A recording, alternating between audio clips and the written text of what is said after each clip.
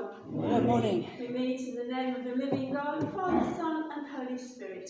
Welcome to you all this morning um, on this quite chilly morning. Um, it is the 18th Sunday after Trinity that we're celebrating today. It's also the feast of St Michael and All Angels, but we're concentrating on Trinity 18. It's lovely to be here. Just a couple of notices. It is food bank today, um, so I'm sure Ben will take any gifts that you would want to give. And next week is Harvest followed by harvest lunch in the parish rooms. Exactly. So there we are. Don't forget. so let's just take a moment as we're meeting in God's name and feel intentionally God's presence through the Holy Spirit today.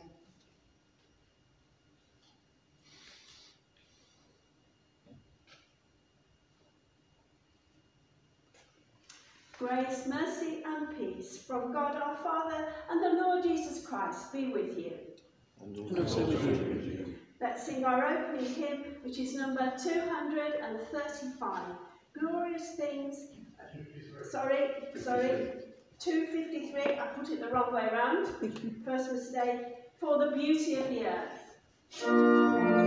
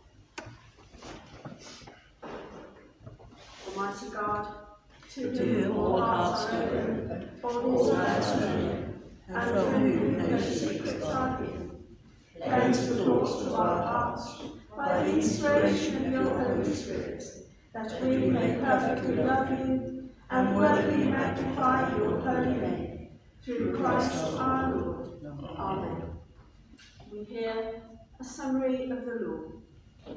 Our Lord Jesus Christ said, The first commandment is this Hear, O Israel, the Lord our God is the only Lord. You shall love the Lord your God with all your heart, with all your soul, with all your mind, and with all your strength. The second is this Love your neighbour as yourself. There is no other commandment greater than these. On these two commandments hang all the law and the prophets. Amen. Lord, have mercy. My brothers and sisters, as we prepare to celebrate the presence of Christ in word and sacrament, let us call to mind our sins in silence.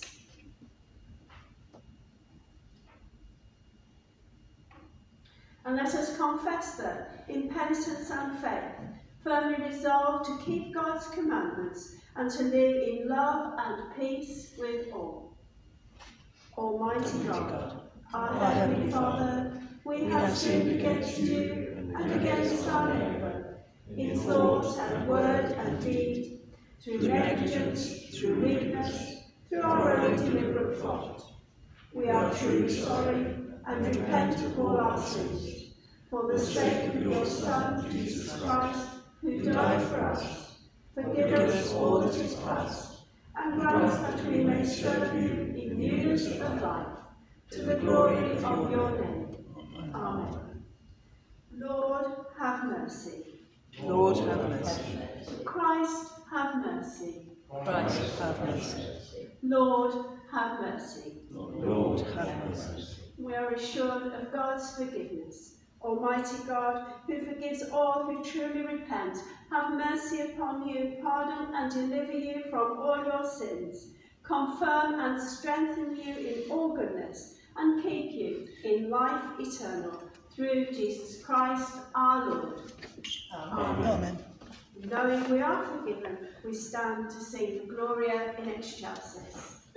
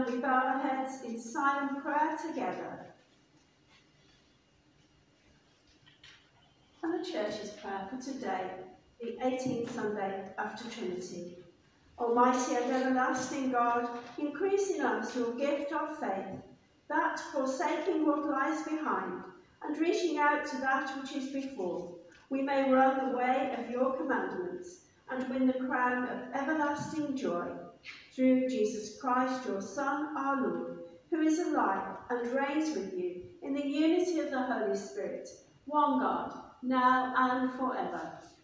Amen. Please do sit for our first reading.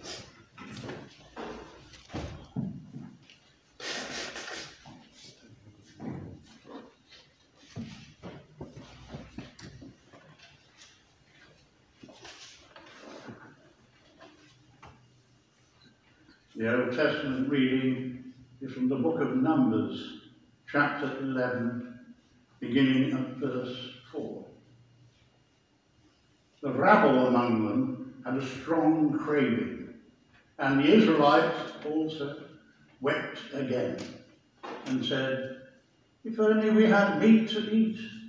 We remember the fish we used to eat in Egypt for nothing the cucumbers, the melons, the leeks, the onions, and the garlic. But now our strength is dried up, and there is nothing at all but this manna to look at.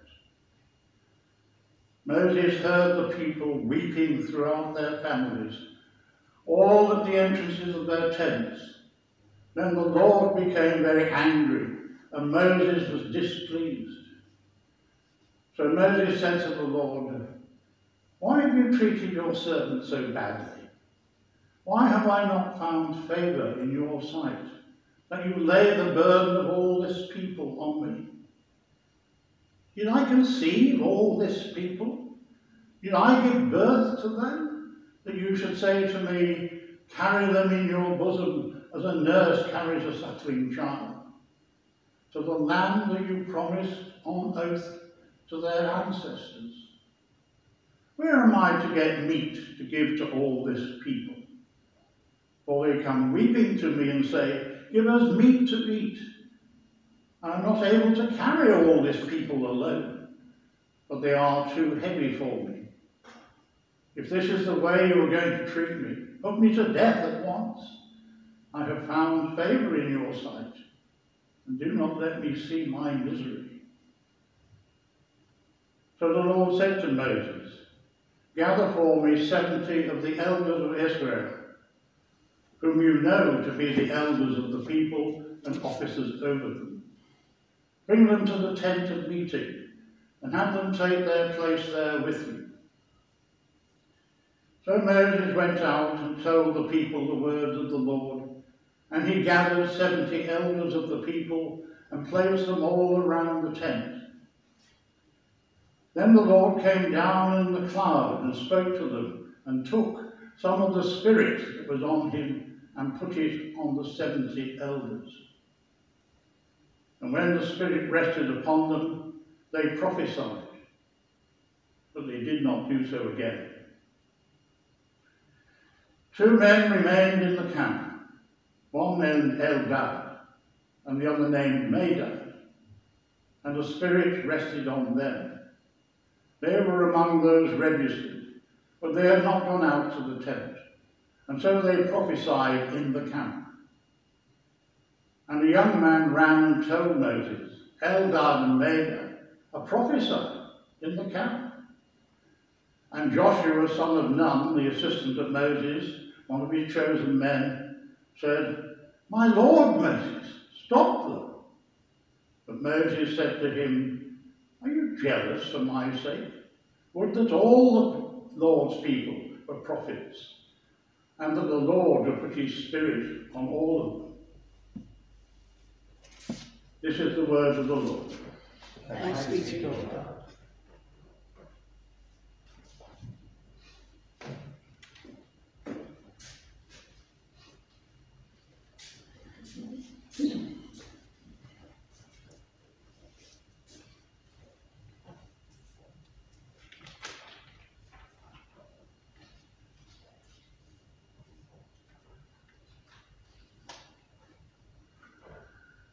The second reading is taken from the Epistle of James, chapter 3.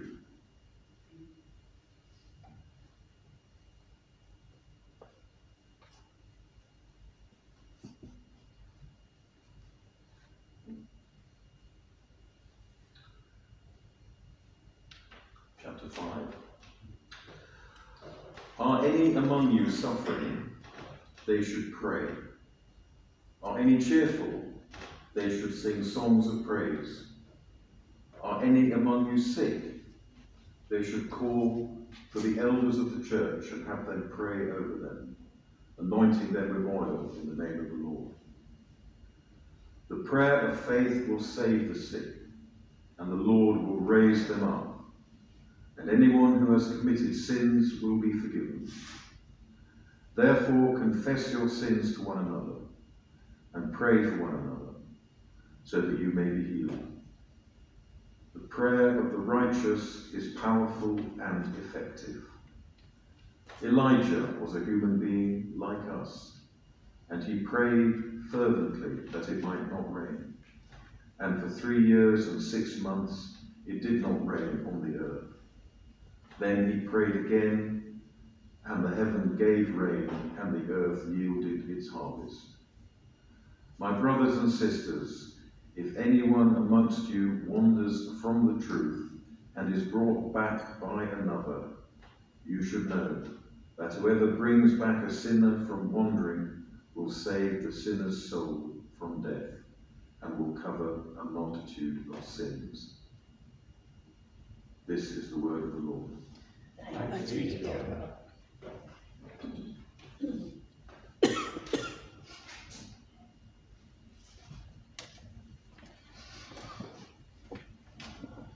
Our gradual hymn is number 411, Dear Lord and Father of Mankind.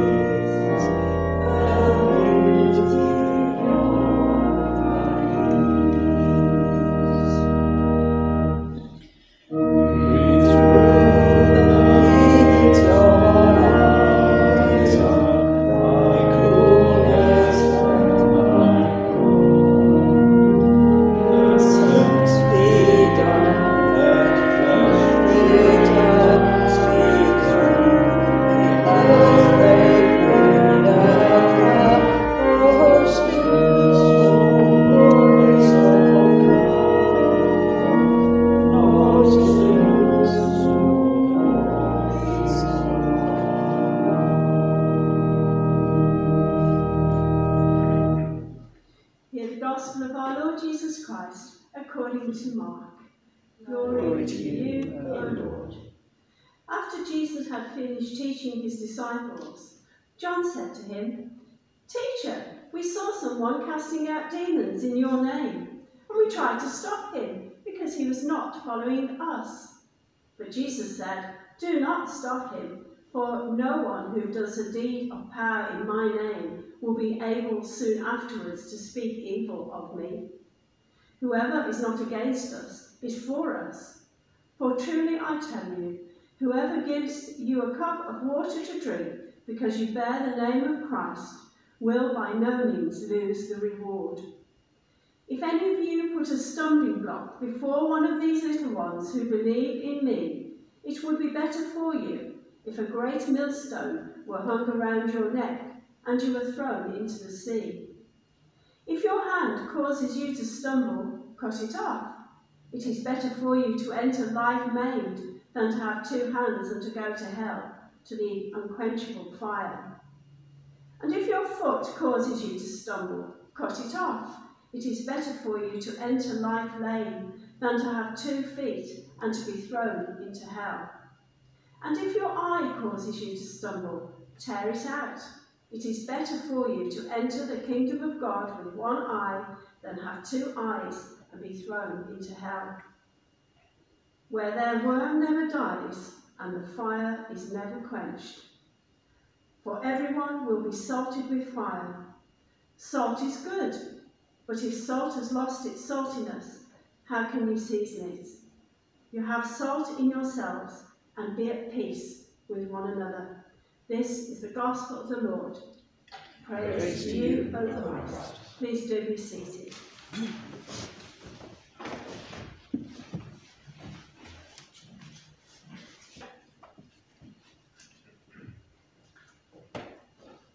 Let us pray. Heavenly Father, give us faith to receive your word, understanding to know what it means, and the will to put it into practice. We ask this through Jesus Christ our Lord. Amen.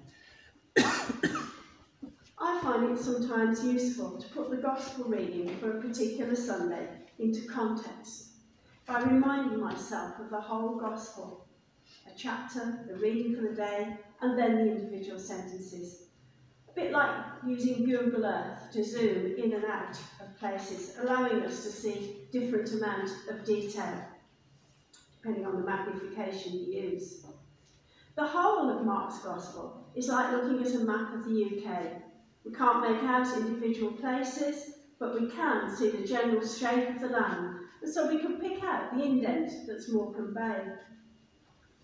In our Gospel readings for the last three Sundays, we can see that we're in a section where Jesus three times predicts his death and resurrection, each time following the prediction with how we are to live as disciples. If we zoom in further, we can see villages. Last week's Gospel picked up on the second time that Jesus predicted his death, his teaching about discipleship, in which we are reminded of the close connection between Jesus' sacrifice for us and the sacrifices that we're called to make. The first shall be last and the last shall be first, calling us to achieve greatness by becoming servants of all. Zooming further, picking up more detail, able to pick out some of the beauty of the earth, and we come to today's Gospel reading. It's a difficult and challenging text. First, the sentences appear disjointed, or at least they did to me. On closer inspection, we can see that they all, they all relate to how we live kingdom-centered lives and work towards the goal of eternal life in God's kingdom, which we call heaven. The disciples begin by telling Jesus of an exorcist whose ministry they've tried to put a stop to. In the disciples' eyes, they've stopped someone whom they saw as not one of us, not part of the inner circle. Jesus' reaction is perhaps not what they expected because he says, Whoever is not against us is for us. I think it's interesting to note that John didn't say he doesn't follow you, meaning Jesus. He says he doesn't follow us.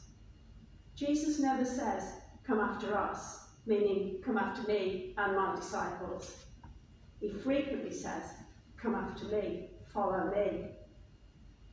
The exorcist has been casting out demons in Jesus' name, and he has, in Jesus' eyes, been doing kingdom work.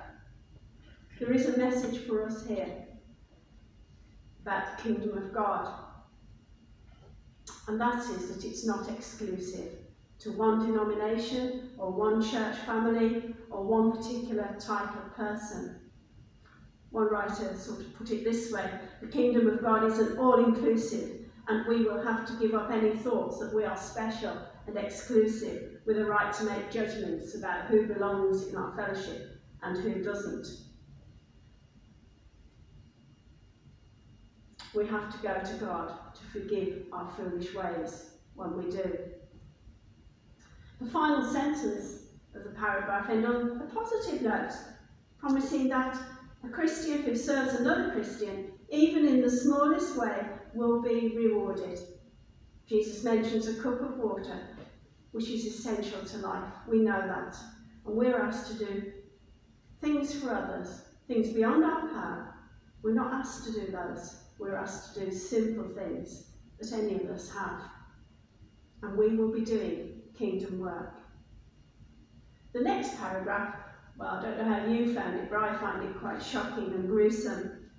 I think if it was a film version, it would be it would have an 18 certificate and come with the uh, little warning that it has strong language and graphics of a violent nature. But Jesus uses this figurative language, it's exaggerated, to get across the importance, what he's teaching us about the scary reality and the need to avoid those things that turn us away from living as citizens of God's kingdom.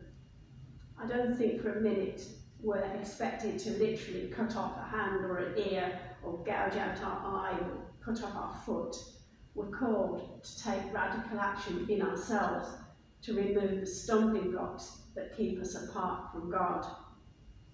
He uses, Jesus uses that graphic language to stress the importance of resisting temptation. So don't please go home and start cutting off bits of your bodies. And then more than this, Jesus issues his disciples with the dire consequences of causing little ones to stumble. The little ones here, he means, are Christians who may be early in their faith journey or whose faith is delicate. Little in the sense that they are spiritually vulnerable. The message is clear. Citizens of the kingdom work towards the goal of living in the kingdom of God. We're called to try to continually to be obedient to the will of God and to care for the vulnerable. It's, very, it's a very, very challenging passage and a very personal passage. In Google terms, I suppose, we've Googled in to an individual property, and that property, of course, is each one of us as children of God. So we need to ask ourselves questions. We can only answer for ourselves here what we need to change in our lives to be more obedient to God's will, to retain our saltiness, if you like. We, have, we can only answer by reflecting honestly on our lives. And if we discover that there is anything that comes between us and perfect obedience to the will of God, we need to be prepared to sacrifice it in order to live a more kingdom-centered life. And of course, we'll never be perfect in this world because we are human, but we can, little by little, become, try to become more Christ-like and ask for forgiveness when we know we've got it wrong. As personally speaking, I often do. And we can rely on God being with us at each stage of our journey, as we'll sing in our next hymn. So some challenging questions to think about. How do we think about people and treat people who are different from us and have different ways of expressing their faith? Do we think we're right and they're wrong? Can we identify aspects of our lives that are stumbling blocks, prevent us from following Jesus and loving God with all our hearts, mind and strength? Some obstacles may be obvious words and behaviour, behaviour contrary to the ways of God's ways of truth and love and forgiveness. But there may be other, less obvious things that quietly unsettle our faith and eat into our hearts and minds, taking up space in our lives that could be opened up to God. As I said, we are human, we are broken. We will continue with our lack of obedience to God's will. But all is not lost because of great grace is God's faithfulness to us and his forgiveness of our failings. We have the benefit of knowing the rest of the story. Jesus died on the cross so our sins are forgiven. When we confess our failings to God, our relationship is renewed and restored, new every morning. Written in the letter St. James, to St. James that we heard, the prayer of faith will save the sick, and the Lord will raise them up, and anyone who has committed sins will be forgiven. Therefore, confess your sins to one another and pray for one another so that you may be healed. We all have a choice. We can choose to follow our, our own way or God's way, the more valuable way, the way that leads to eternal life. We can choose to admit our stumbling blocks and recount to God our sins and work towards, little by little, transforming ourselves. And we can choose not to be a stumbling block to those who might wish to express their spirituality, their faith in God in ways that are different from our preferred ways. We can question ourselves and each day just get do one little thing that brings us more closer to the obedience of God that He seeks for us. So let us end in prayer. Holy Spirit, help us to live in the light of the gospel, declaring its truth with our words and through our actions. Help us to be more obedient to your will, choosing the way that leads to eternal life. And help us, Lord,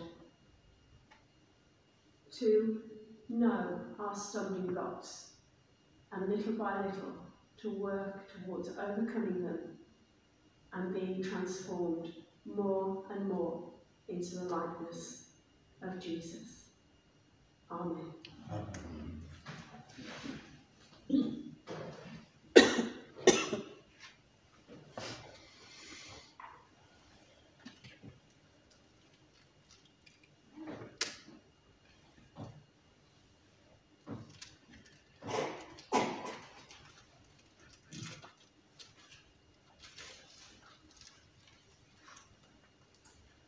So let us stand and declare our faith in God, Father, Son, and Holy Spirit.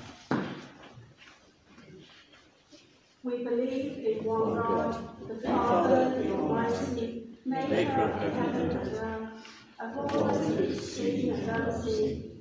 We believe in one Lord, Jesus Christ, the only Son of God, eternally begotten of the Father, God from God, light from light, true God from true God, begotten, not made, being with the Father. Through him all things were made. For us and for our salvation, he came down from heaven, was incarnate from the Holy Spirit and the Virgin Mary, and was made man. For our sake he was crucified Pontius Pilate. He suffered death and was buried. On the third day he rose again in accordance with the scriptures. He ascended into heaven and is seated at the right hand of the Father. He will come again in glory to judge the living and the dead, and his kingdom will have no end. We We believe in the Holy Spirit, the Lord, the giver of life, who proceeds from the Father and the Son, who with the Father and the Son is worshipped and glorified, who has spoken through the prophets. We believe in one holy, Catholic, and Apostolic Church. We acknowledge one baptism for the forgiveness of sins. We look for the resurrection of the dead and the life of the world to come.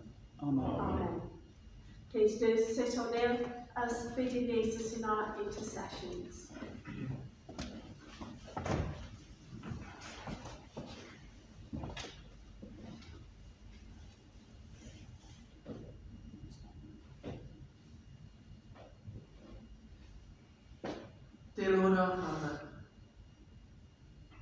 We ask that you make your church alert to hear the message of salvation and eager to preach it. We especially thank the Lord for this church and for the messages that it is able to broadcast to people. And we think on pray for the couple who were married here yesterday and all their friends. So Ian and Julie. We ask, Lord, that you grant to all Christian people the grace to make a good confession of their faith before the world. And we also ask, Lord, for you to remember those prayers we have made which are currently on the altar, left from the prayer space. Lord, in your mercy, Hear our prayer. In a world where a great gulf separates the rich and poor, we pray for a new spirit of caring. Speak to the hearts of those about their stumbling blocks. Give to those who have authority in the rich nations the desire to aid the nations that are in need. Lord, in your mercy, Hear our prayer. We ask that you bless us, our families, friends, and neighbours, with a shared concern for our spiritual lives. Open our eyes to see the poor in our community, both in richness and in spirit, and open our hearts to give for their relief. Lord, in your mercy, prayer. have mercy on the destitute who have no shelter and no means of existence. And Lord, help those organisations who help those destitute. Have mercy on the rich whose love of money has led them into evil ways and led them back to, the to know and lead them back to know the true wealth of love for others. Lord, in your mercy. Hear our. We pray for the departed who have fought the good fight. Receive them into eternal life with all your saints.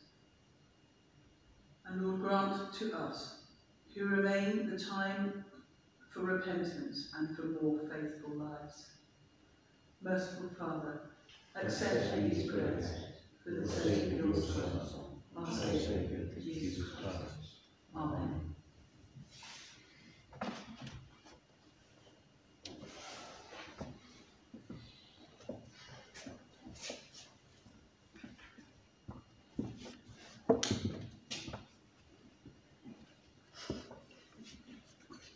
Do please stand for peace.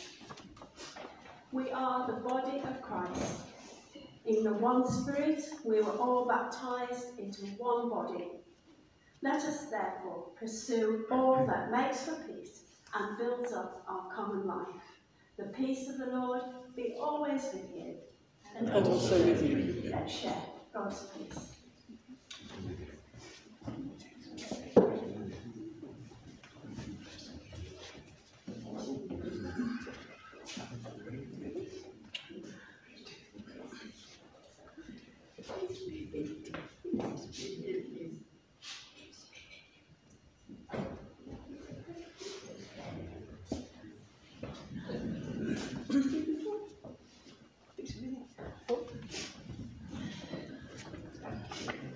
Please, John. We, as we stand, we sing which is Great is Thy Faithfulness, number 453.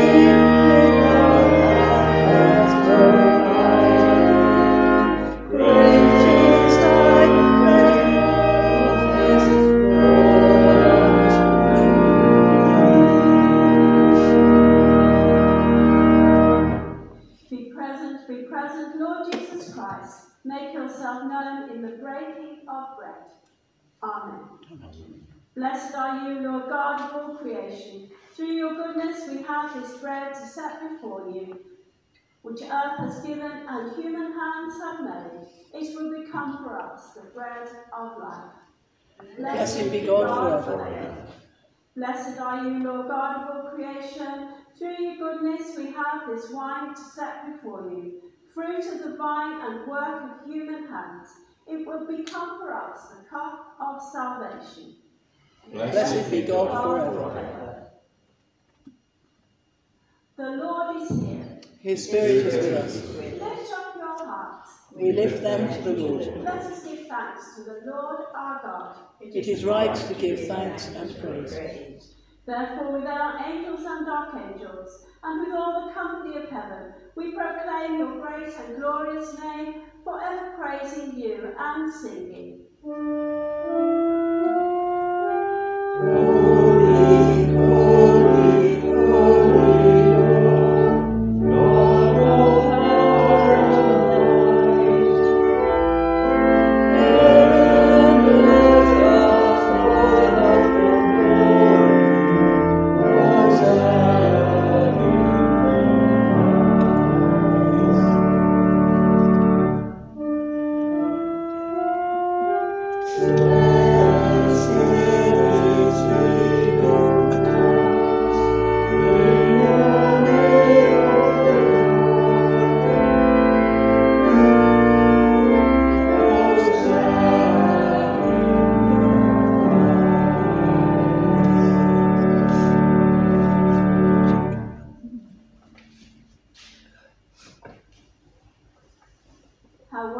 The work of your hands, O Lord.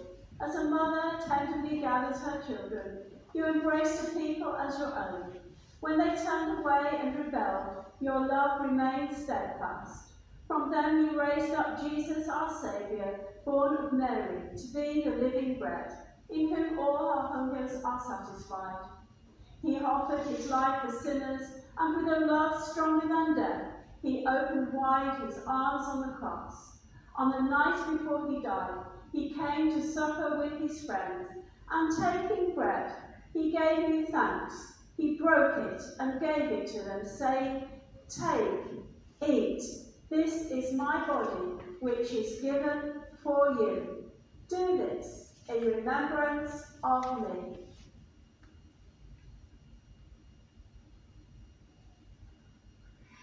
At the end of supper, taking the cup of wine, he gave me thanks and said, Drink this, all of you. This is my blood of the new covenant, which is shed for you and for many for the forgiveness of sins. Do this as often as you drink it in remembrance of me.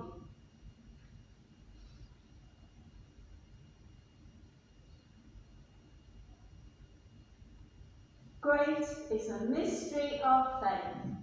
Christ, has died. Christ, is is risen. Christ, Christ will will come come again. Father, we plead with confidence his sacrifice made once for all upon the cross. We remember his dying and rising in glory, and we rejoice that he intercedes for us at your right hand. Pour out your Holy Spirit as we bring before you these gifts of your creation. May they be for us the body and blood of your dear Son. As we eat and drink these holy things in your presence, form us in the likeness of Christ and build us into a living temple into your glory, to your glory. Bring us at the last, with Peter and all the saints, to the vision of that eternal splendour for which you have created us, through Jesus Christ our Lord, by whom and with whom and in whom, with all who stand before you in earth and heaven, we worship you, Father Almighty, in songs of everlasting praise.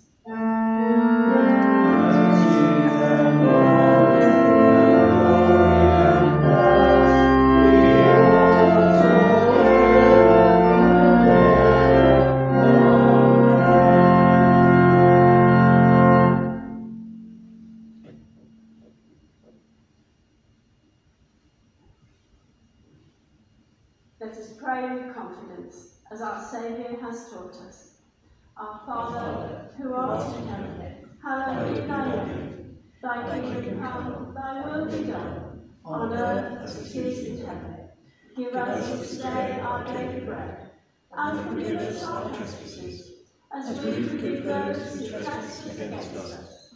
And lead us not into temptation, but deliver us from evil. For thine is the kingdom, the power, and the glory, forever and ever. Amen. We break this bread to share in the body of Christ. Though we are many, we are one body, because we all share in one bread. Mm-hmm.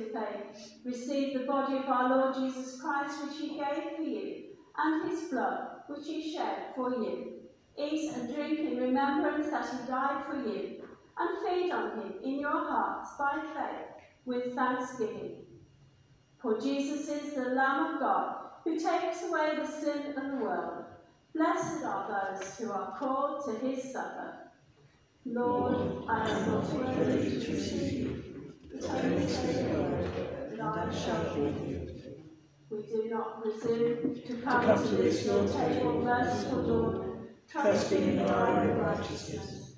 But in your manifold and great mercies, we are not worthy so much as to gather the crumbs under your table. But you are the same Lord, whose nature is always to have mercy. Grant us therefore, gracious Lord, so to eat the flesh of your dear Son, Jesus Christ, and to drink his blood, that our sinful bodies may be made clean by his body, and our souls washed through his precious blood, and that we may evermore dwell in him, and he in us.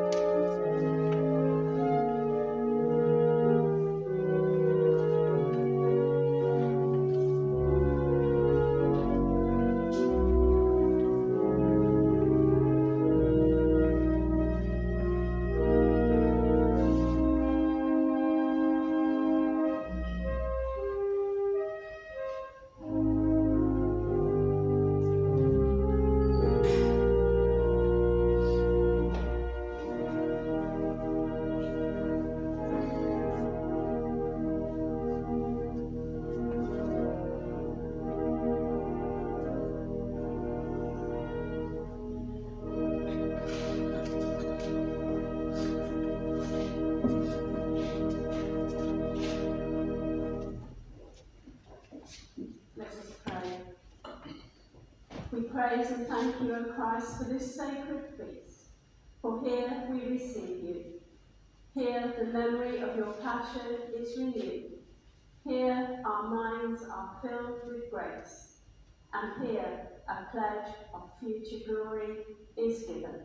When we shall feast at that table where you reign with all your saints forever. Amen. Amen. We pray together. Father, Lord, we give you thanks and praise. when we were still far off, you. met us in your Son and brought us heaven. Dying and living, you declared your love, gave us grace, and opened the gate of glory. May we who share Christ's risen body, live his risen life. We who drink his cup, bring life to others. We who the Spirit us, give light to the world. Keep us firm in the hope you have set before us, so we and all your children shall be free, and the whole earth live to praise your name. Through Christ, Christ our Lord. Amen. Our final hymn for this service is number 507, Lord of all hopefulness.